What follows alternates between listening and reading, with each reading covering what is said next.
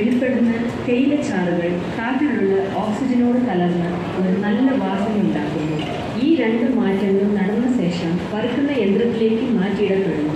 പച്ചപ്പൊടി വറുക്കും യന്ത്രത്തിൽ വീണ ഉടൻ വളരെ ചൂടായ കാറ്റിന്റെ തുണയാൽ തേയില പതിനാറ് നിമിഷങ്ങൾ വറുക്കപ്പെടുന്നു.